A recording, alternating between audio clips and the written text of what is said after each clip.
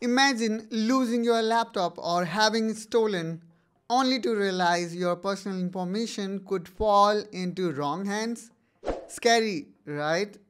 But what if I told you there is a built-in guardian in your Windows 11 waiting to be unleashed to protect your data from prying eyes? Yes, I am talking about BitLocker, the ultimate encryption tool that's easier to use than you think.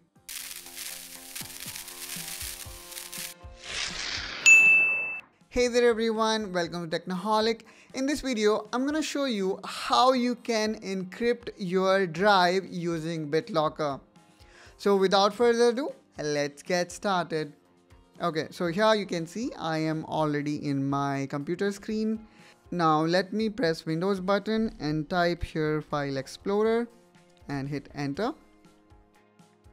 Now here we will see the File Explorer and for example here this is the drive which I would like to protect okay?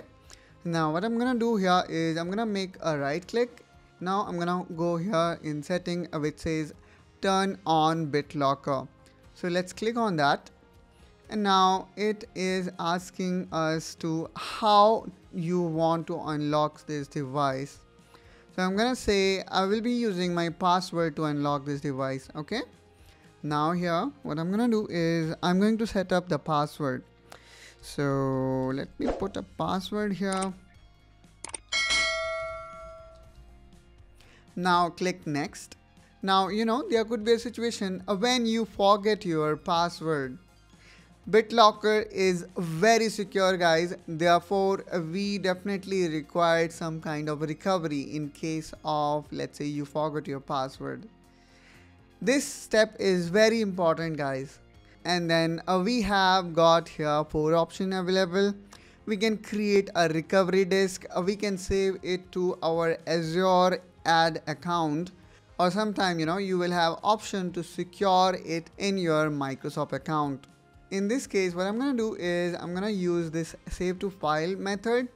So let's click on that and now I'm going to save this file anywhere else except the drive which I want to encrypt which is you know more of keeping the key inside car and locking it from outside.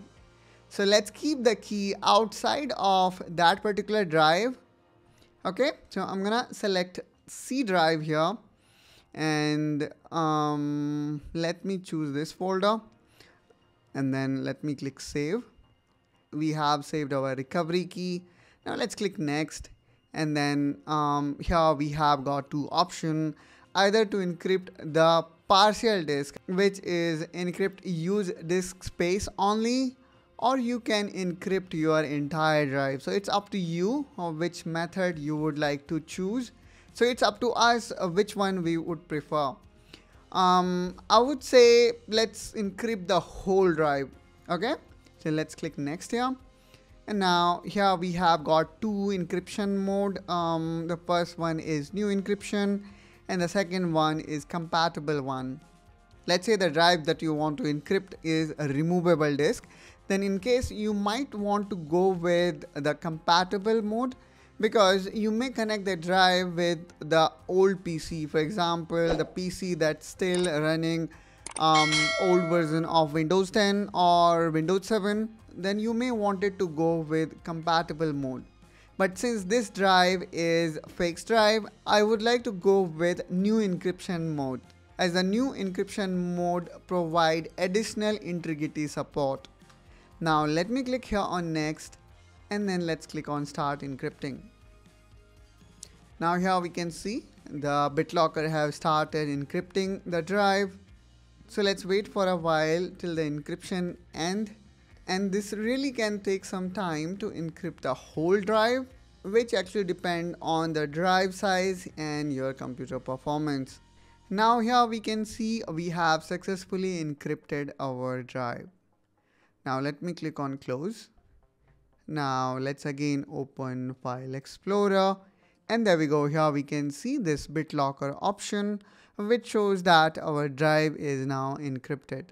Now whenever we try to access this drive, let's say using other user account or let's say if this is external drive it requires your BitLocker password.